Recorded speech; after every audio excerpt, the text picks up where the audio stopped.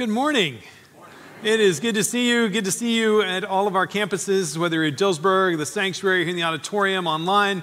We are grateful to be together. My name is Bob. Uh, we are concluding today the first part of a sequence of series that we're doing. Uh, this has been uh, what, 12 weeks or so that we've been spending in the very beginning of our scriptures, Genesis 1 and 2, which we would consider the creation account.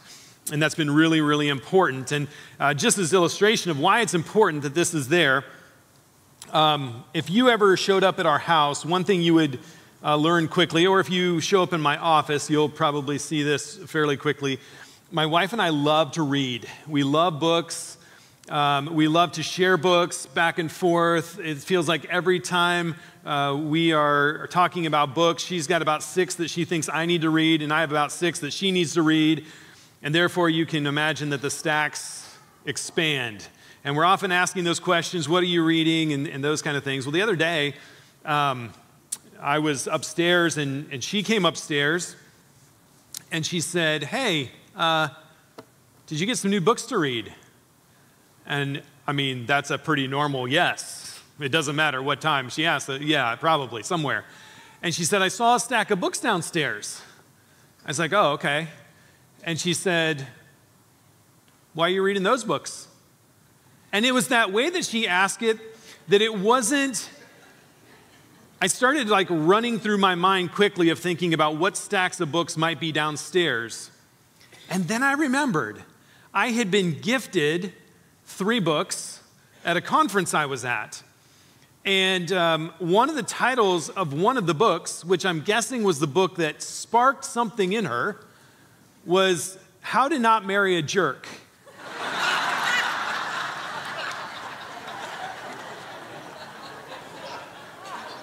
and I thought, well, I can, I can understand why she might have asked the question. But I was, I was wondering then later, as I had a little more time to reflect on it, I thought either she was thinking I had given, I had I bought a book to give to her, which she was probably thinking, yeah, I've been waiting for this my whole life. or maybe what she was probably thinking of, um, what, do, what is Bob thinking that I haven't been aware of? All that to say, what we believe about Genesis 1 and 2 is it lays the foundation for the rest of a story. And if you don't know the first part of the story, because she didn't know that those were just gifted to me randomly, everybody in the conference received those books without knowing who she was or who I am. Uh, they were given. But without that part of the story, something else was um, thought to be the case, which created some tension. And for us, we, you may have felt like, boy, we've been in these first two chapters of Genesis for a long time. And I would admit, yeah, but we could spend a lot more time there because those first two chapters lay a foundation for what helps us to understand both who we are, who each other are, but most importantly, who God is, and the relationship that He has invited all people to have with Him. This is the key to understanding the rest, the entirety of the rest of the scriptures that we've been given in the Bible. So this morning, we're, this is Palm Sunday, and maybe this is new to you, but Palm Sunday is the, the Sunday that we celebrate in the Christian calendar of the, the remembering Jesus entering into Jerusalem the week before he dies, death on a cross and his resurrection that happened on that, that first Sunday. And so, as we think about and, and think and remember uh, what God has done through Jesus all those years ago, we start by thinking about Palm Sunday. And you think, well, why is that important? Because if we can understand Palm Sunday in light of what God originally created in Genesis 1 and 2, we are better able to understand the totality of the story that God is actually, through Jesus, reconciling all of the world and turning what had been broken upside down and beginning to bring healing to all of it. And to know the beginning of the story helps us to make sense of why it was that Jesus died in our place, why his sacrifice of his life his victorious resurrection from the dead, defeated evil, defeated uh, principalities, opened and set forth a new way of living for all those who would come to follow him, it begins to give us a greater picture of what God was doing. And so we want to make sense of that first part of Genesis in order to make sense of so much else that comes past that. But I, am caught uh, by a particular passage in Luke 19. We think about Palm Sunday, and if you've been in any kind of a tradition like I've been in, Palm Sunday is full of um, palm branches and coats and donkeys and Hosanna, Hosanna, Hosanna being shouted. But this passage is the passage that over the last probably two or three Easters has grabbed my attention. Yes, the proclamation of who Jesus was as king is vital and so important, but seeing the reference of what Jesus was experiencing as he went into Jerusalem has, has caused me to spend a whole lot of time imagining this scene in, in ways that I don't think I had ever experienced up until this part of my life. But here's what is recorded it says, As he approached Jerusalem, meaning Jesus, and he saw the city he wept over it. He wept over it. And we're going to pause and come back to that in just a second. And he said, If you, even you, had only known on this day what would bring you peace, but now it is hidden from your eyes. And he goes on to say in the next couple verses that um, there will be destruction and the consequences of not following after him will lead to the natural outcome of sin and rebellion, which is ultimately what we know of as the destruction of the temple and of Jerusalem. Excuse me. But this, this passage, this little, little statement here of Jesus weeping over the people that he saw, my guess is all of us have had some sort of an experience like that. Somebody we knew in our life we watched them making some decisions that just brought us to tears. We knew where they were, what the decisions they were making were taking them into some places that were going to be painful. We're watching them make some decisions that were going to totally upend their life. We're watching them make decisions that are going to bring so much pain, not only on themselves, but on the people around them. And there's nothing that we can force them to do differently. But as we watch them, our hearts break for them. You know that feeling? You've been there? Some of us have been that person for our parents or for our friends or for someone else that knows us, and they watch us do things or say things or go places or with motivations that are, that are gross, uh, move into parts of life that as they watch us, they just knew. Oh, this is going to bring so much pain. There's going to be heartache, and it didn't have to be this way. This image of Jesus looking over Jerusalem, saying that, praying that, speaking that, feeling that, brings me back to thinking about why we spent so much time in Genesis 1 and 2, because it was in this passage, these passages, where we have said over and over and over, we started with the idea that the reason that the writers recorded Genesis 1 and 2 like they did is because the focus of the beginning of all things was a who, not a how. And from the very beginning, it has been about this picture that this creative God of all that is decided that out of this overflow of love that we, we know is happening within the Trinity spills out into this creation. He speaks it into existence. And in this, the, the only um, the only thing that we have to recognize as humanity is that, that there is because God decided there would be. There is because God decided there would be, and that as His creation, it is our role and our responsibility and our vocation to praise Him, to thank Him, to um, depend on Him, to wait upon Him, to live in His authority as the King to recognize Him as truth, to recognize Him as goodness, of faithfulness, of kindness. And that as His created order, uh, humanity was the crown jewel of His creation. You and I, for all of eternity, or since creation, all people have been this image bearing people that we have been given value, intrinsic value, because God said, as I create humanity, they are going to have a unique place in the created order.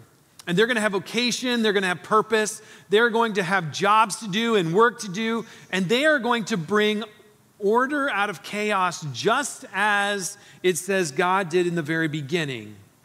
And that, that humanity was going to populate and multiply and take this um, order making capacity into all places of creation. And it's in this rhythm that we watch Genesis 1 and 2 formed to say this was the beauty and this was the hope of God's creation is that humanity would indeed be and live as his dependent creation. And what we know happens later is that our independence, our rebellion, our want for our own kingship and our own autonomy uh, creates significant brokenness. And it brings brokenness that you and I feel even yet today, but it is not the end of the story. So I want us to um, enter into one of the most important relationships that are defined at the very beginning of all of this because we've, we've talked about God being the who of creation. We've talked about um, the created order being given over to humanity to steward and take care of. We've talked about humanity being kings, priests, and prophets, and all three of those roles continue to be part of what we are called to be. And we're going to end this by talking about this relational uh, glue that God creates in, in how he designed men and women to live and, and how he was going to bring this picture together of what it was going to be for men and for women. And the interesting piece of this is the word that God, uh, that is recorded here of what God has given as, as Eve. And so we're going to start in Genesis 2, uh, verse 18. This is after God has created Adam. He's then brought all the animals in front of Adam. Adam has named them all. I have no idea how long that took. I have no idea how he came up with all the names. I don't know any of the answers to all those questions, but there are good answers to all those questions, I'm sure. Um, but he gets through this, and then it says, The Lord God said, It is not good for the man to be alone. I will make a helper suitable for him. And then down in verse 20, uh, the second part of verse 20, it says, But for Adam, no suitable helper was found. Now, I want to pause there because this word helper is, is a really important word. And sometimes it may be that uh, we read through these, these passages, we might read our Bibles, and sometimes we don't remember that certain words are used with really intentional, no, all the words are used with really intentional meaning of why they're put together and how they're established. And so, this idea that uh, we wind up here out of helper, out of Genesis 2 18 and 20, is etzer. That's the Hebrew word that is used here. And I would just venture to guess that if I were to ask you, what does helper mean? We would come up with a bunch of different answers right here. We'd have a bunch of different pictures of what helper means, and we would have a bunch of different illustrations or thoughts about what it means for men and women to live in relationship to one another. We would have very different perspectives there. But again, because what we believe is that God is outside of us and He has established truth, and, and we get to find the truth in Him, and truth is not established first and foremost within us to bring out of us. And why do I say that? Because the other day, my wife and daughter were watching, you know, those um, oh, those shows where there's like music people and they sing, and then there's like these people that their chairs flip around. I don't even know what it is. They were watching that show. And something that somebody said, The Voice. There we go. Um, I'm not, not giving any recommendation for it whatsoever. I, it was on in the background. But there was a moment where I, they do these interviews with people, and I heard this one person on there say something like, and I'll, I'll butcher this exactly, but it's something like, um, everything about who I am is inside of me, and I just need to bring this out for the world to know it.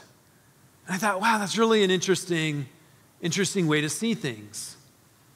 It is, it is for us that understand God's creation of us, it is that our first responsibility is to understand who the God is that has formed us, and that I take the shape of living my life from that creation.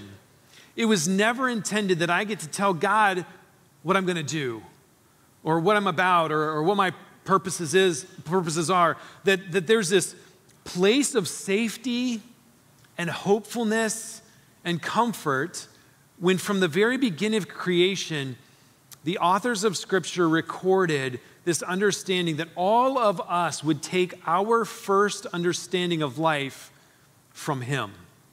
And that that is key to us being able to then understand the rest of life. I've been really interested in some studies, and I don't have time to go into all of them right now, but a number of studies I've been reading recently that talk about some of the anxiety and the difficulty that people have in our cultural moment stems from them being told from their, the time that they are very small that it is their purpose, it is their requirement, it is their destiny to figure out who they are in life based on the stuff in them to bring it out.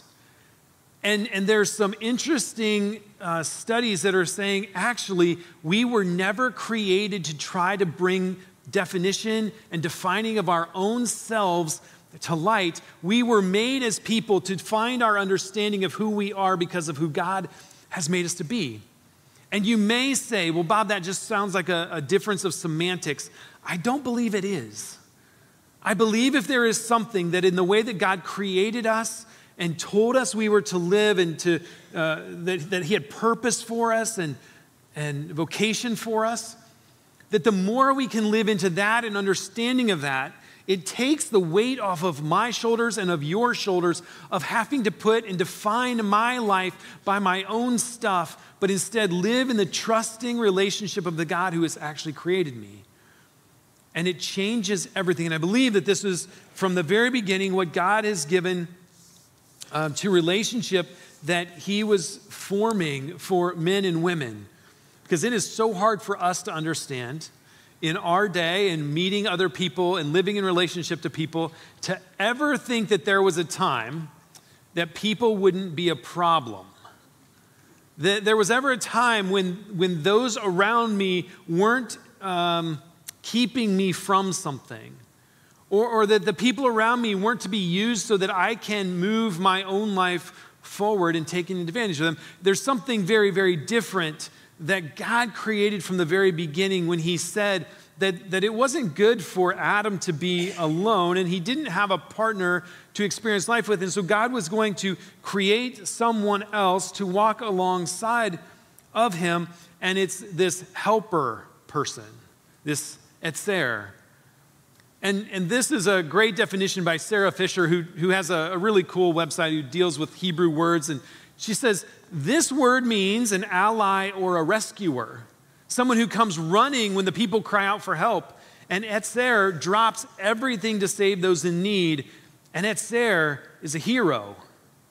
That seems like a really odd definition for a woman to play alongside a man, doesn't it? Is that your definition of helper? Is that where you would have landed? Because what's so fascinating is this word, this idea of helper, is only used twice about a, a, woman in this creation in 18 and 20, verse 18 and verse 20 of chapter 2 of Genesis. 16 times that word is actually used of God.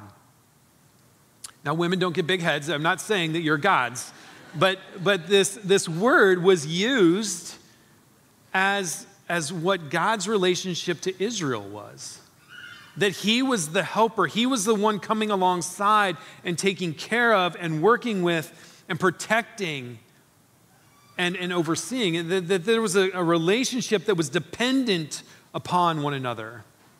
And so, the interesting thing that we see in, in these passages and, and several others is that etzer is a word that ultimately, through Scripture, gets used by the helper that God comes alongside Israel. And that is helpful, helpful for us then to move backwards to make sense of what did it mean for God to create Adam and then his helper Eve, that they would be together and allies, that they would seek to care and walk with one another in the same way that the love of the Trinity poured over, this relationship was going to live in, in mutual submission and care for one another. The Apostle Paul, actually, in, in Ephesians chapter 5, uses the same language. He says, It is important that we submit to one another. And then he goes forward to give some, some context to some scripture about marriage in the Ephesian situation. And it's this idea that flows through Scripture that the ideal of the way that men and women would see each other was that they were allies, they were for each other, they desired to see the other uh, redeemed and restored and participate in salvation and the goodness of God and the relationship with Him. That, that this combined together um, was, was of an at sideness, not a uh, hierarchical overness. You might say, well, that doesn't seem like the experience, though, that many of us have had. Um, and, and we might look over into Genesis chapter 3, verse 16. You may know this chapter 3 of Genesis is the chapter that begins to explain the rebellion of humanity away from God, where they separated and went their own way. They wanted to be their own king and their own authority. And so in, in verse 16 of chapter 3, um, we see at the very end of this verse these words. Well, I'll read the whole, the whole thing. Uh, to the woman, he said, This is post rebellion. I will make your pains in childbearing very severe. With painful labor, you will give birth to children. And I'm going to hold on to that passage and not like get into it right now, but most likely, that isn't just talking about the moment that the child is coming out, that it's actually talking about the, the totality of the relational pain that happens. And it would end up being seen in almost every patriarch that we read through the rest of Genesis that the relational pain that happened in order for children to be born was full of strife and full of pain and full of competition and full of, of rejection. There's a whole bunch to that, and, and we'll get to that another week. But this last part of this is your desire will be for your husband, and he will rule over you. I have yet to walk into a home and see that framed on the wall. it's not been there. I mean, maybe it's in your house, and if so, I'd love to come see it. But I've not seen it. But the interesting question that we have to ask about this passage is Is this a determination of God? Or is this a consequence of rebellion? Because the difference between the ways that we would see that uh, matter in how we make sense of it. If this is a determination of God, um, we can let our minds wander. We could see where that could go. We could make uh, assumptions of what might happen if that's taken into the places that are, that are unhelpful. But I believe that the better way that we understand that passage is that God is simply stating to them, because sin has taken place, rebellion has taken place, the breaking of, of um, all things that were designed to bring peace and harmony and shalom, that has been broken. And now God is saying, You are going to experience consequences because of that brokenness.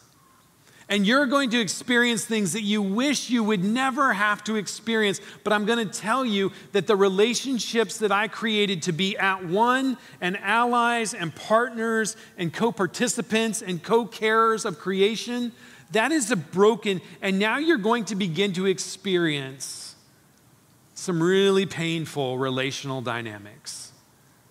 If that is how we understand verse 16 of chapter 3 of Genesis, then what we have to remember is that it is not what God had created and started, but it is a consequence of the sin. And so, what has happened then?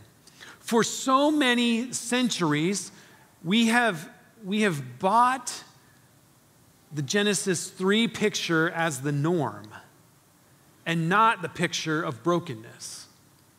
And so we have made excuses and we've made justifications and we've made all kinds of, of odd movements in our relational dynamics to put in competition men and women, where that was never the case of what God originally created us to experience.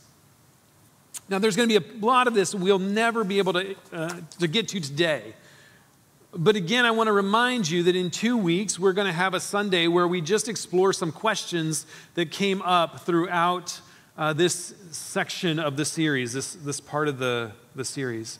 And if you have any questions that you want to give, there's a, a QR code, there's a, a thing. Sorry, Mary, I got way offline with this, but you can throw it up there. And she's going to leave this on there for 52 seconds for you to get your phones out if you need to, to to get those down. But you can ask any of those questions and we'll try to get to them. But, but here's, here's the question for us. If what we celebrate on Palm Sunday is a celebration of God's redemptive work in all the world through Jesus, then what is the picture that we are invited to begin to live into? It isn't Genesis 3, I would contend, but it's Genesis 1 and 2. I believe that because Jesus' death and resurrection, this reformatting and reformulating all that was broken and making it make sense and bringing it to life, God is in the process of restoring all of creation into what it originally was, and it's heading toward a destiny where all things will be made new. And that in spite of the brokenness you and I experience today, God is in the work. And He is invited to partner with you and with me to bring about the wholeness to the order, the, dis, the chaos, and the disorder that is around us so that He would be glorified. So that you and I can live in relationship with Him, proclaiming and trusting that who He says He is is enough. And that my life and your life would be lived looking to Him as our source of truth and hope, identity, purpose, vocation, and that our lives then are brought as sacrifices to His, so that when He comes again, when He returns, there will be faithful people, there will be a remnant of people who are faithfully living out the call of God that took place at the very beginning, where we stated that we are looking to God to be our whole, our whole King to make sense of our entirety of our lives, the one who brings meaning to us, who gives us purpose and, and focus. That when, we, when Jesus returns that day, whenever that is, there would be a sense that we would hear and see from Jesus that we are doing the, the life that he asked us to do from the very beginning of trusting deeply in him. I want to just end with uh, some reminders some, some things that will call us to think about Christ's death and resurrection in light of the beginning of Genesis 1 and 2 and the conclusion of all of history where God makes everything right again through Jesus. And next week we're celebrating the resurrection of Jesus. But I want us to pause and think with, with this illustration of the way that God created men and women together. He formed them as allies and as partners, as one example of how God is redeeming and restoring all things. That He is calling us to ask ourselves some questions about the very resurrection of Jesus that gives life uh, more directive. It gives us a better sense of what it means to live faithfully in that relationship. The first reality is that it defeated death. It, that, that Jesus' death on the cross for all that were looking on thought that was the end of the story. But what we know is his resurrection from the dead declared that death does not have the final say. Death, where is your sting? Where is your victory? But instead, the reality of life that moves beyond death into the life after death is the hope that you and I get to live in today, that the very thing that Jesus experienced of resurrection from the dead will be ours at one point as well. That we will die from this, this world, this physical life we have, and we will be resurrected with a heavenly body. and a renewed and perfectly made. There is a disempowered sin that happens because of the death and resurrection of Jesus that you are no longer bound to follow the sin of life. There is nothing now that holds us tight and fast and will not be released from the power of bondage that comes through our own rebellion. But instead, Jesus has invited us to experience life, wholeness, resurrected life in Him. That there is a pronouncement of victory over evil, that those powers and principalities that claimed victory as Jesus died on the cross were only to be so very disappointed to see Him raised to life and realize that their time had come. And that there is no victory for the principalities and powers of evil, but only punishment and that it initiated a healing and a shalom in all the world, in all relationships, in all vocation, in all places, that the resurrection of Jesus initiated a day for you and for me to live as if it were Eden again.